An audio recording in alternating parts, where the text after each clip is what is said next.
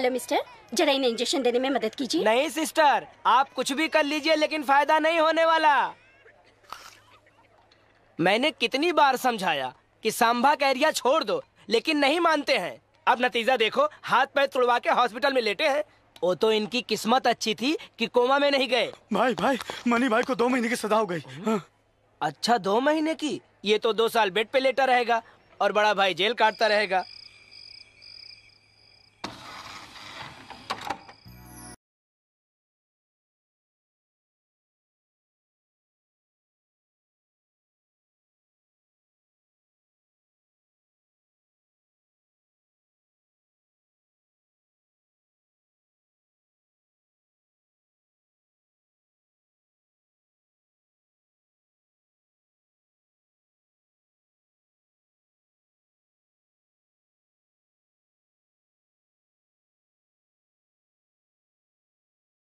ये सब। ये क्या हो रहा है ये हॉस्टल है या क्लब समझ रखा ये है हॉस्टल समझ रखा है या क्लब समझ रखा है जो नाच गाना कर रही थी।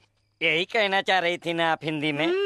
वो क्या है ना ये गाना बहुत पॉपुलर है इसलिए मैं गा रही थी। शट अप इसीलिए मुझे मॉडर्न लड़कियाँ पसंद नहीं। इसीलिए मुझे मॉडर्न लड़कियाँ पसंद नहीं आई हिंदी में। मैं इसके बाप से बात करूँगी। ये तुम्हारे बाप से बात करना चाहती है। डैडी से? हेलो मैं गर्ल्स हॉस्टल की वार्डन मनोरमा बोल रही हूँ। मुझे आपकी बेटी के बारे में कंप्लेन करनी है। आपकी बेटी ने यहाँ हंगामा करके रखा हुआ है। सुनो वरदराज मैम तुम जरा इन्हें अच्छी तरह समझा दो। समझाने का तो पगार मिलता ही नहीं है। तुम क्या बड़बड़ कर रहे हो? हिंदी में भोजपुरी में। हिंदी में। गर्ल्स हॉस्टल का वॉचमैन वरदराज। हाँ बोलिए।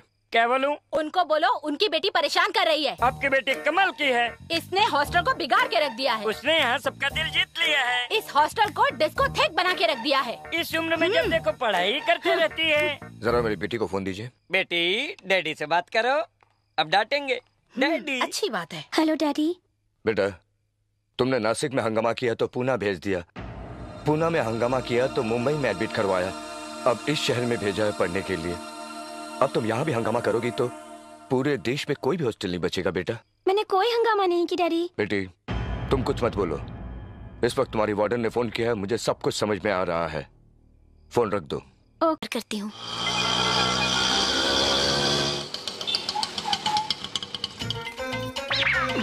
अरे बाप रे बाप। हे, हे, अरे अरे पूरा सामान लेके इधर आ गई। इधर ही रहने के इरादा है क्या? हा? बिल्कुल सही सोचा है। Two four three four three ये सामान जरा अंदर लेकर जाओ। क्या बोल रही हो तुम? इस घर में तो क्या पूरे मोहल्ले में कहीं नहीं रह सकती? देखो कुछ ज़्यादा ही बोल रहे हो तुम। अगर तुमने मेरा सामान अंदर नहीं रखा तो तुम्हारा सामान बाहर फेंकवा कर रहूँगी। अरे बाप रे। भाई वो गणेश कहाँ है? ओ लेडीज़ हॉस्टल। क्या बात है आप यहाँ क्यों आई हैं? नमस्ते सर। कल रात जो आपने हंगामा किया ना इसलिए वार्डन ने मुझे हॉस्टल से निकाल दिया सर। क्या?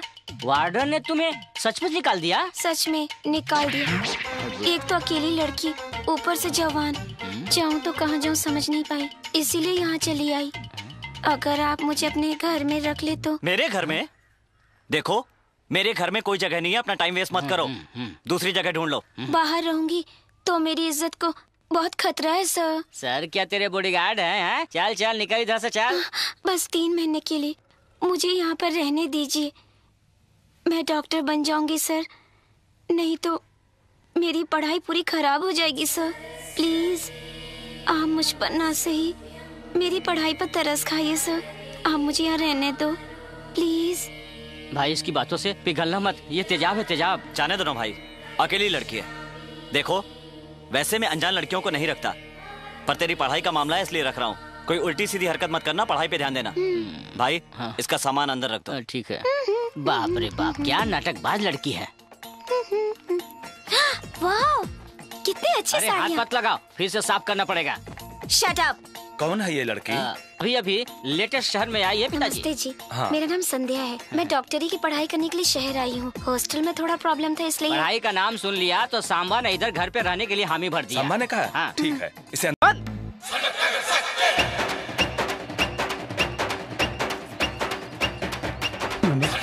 हाँ नमस्ते। क्या कर रहा है बे? चल पैसे निकाल। चल। मगर एक दिन सिस्टर। भैया प्रणाम। नमस्ते नमस्ते। अरे तुम लोग रे मार्केट में उधर वसूली करो चलो। आजकल हरिया नहीं दिखाई दे रहा वो कोमा में है। कोमा? आज तक फुल स्टॉप तो सुना था ये कोमा क्या होता है रे? कोमा बोले तो आदमी अपने होश में नहीं रहता भाई सालों साल पलंग पे पड़ा रहता है। अरे रक्षक फ़िल्म में सुनील शेट्टी जैसे पड़ा था वही क्या? हाँ भाई वही है। ए बाजू हट। ए आज तो तू बहुत अच्छी लग रही है घूमने चलती क्या? अरे टमाटर बहुत अच्छे हैं दो चार किलो रख ले। हाँ? अबे ऐसे क्या घूर रहा है? संगम नगर का सत्या हूँ। अबे विरार में मारूँगा तो चचगेट में जाके गिरेगा। समझा क्या? चश्मा निकाल, चल।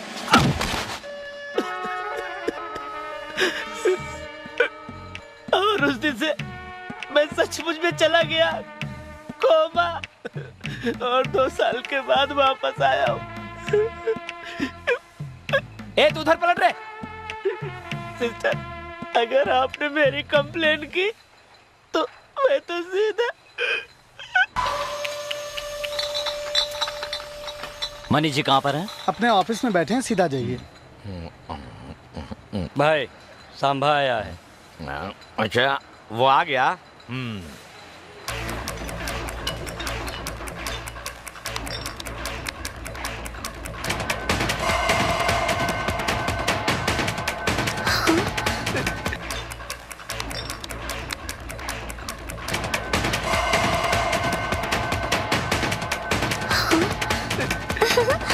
अब क्या होगा? सिस्टर मैंने आपके साथ कोई बदतमीजी नहीं की मेरी शिकायत मत करना। नमस्कार सर मेरा नाम सांबा है। सांबा नाम सुन के सोचा था कोई हट्टा कट्टा आदमी होगा लेकिन तू तो एकदम बच्चा निकला। तूने मेरे भाई को क्यों मारा? इतनी हिम्मत कहाँ से आई तुझ में? सर न ये प्रदेश मेरा है ना ही भाषा न शहर। हम यहाँ चार पैसे कमाने आए हैं सर लड़की यहाँ पढ़ाई करने आई है। इसको रहने की प्रॉब्लम थी, इसके लिए थोड़ी जगह दे दी। मेरी गलती की सजा ऐसे क्यों? और मैंने आपके भाई को मारा, ये मेरी गलती थी। मैं माफ़ी चाहता हूँ। माफ़ कर दूँ हाँ?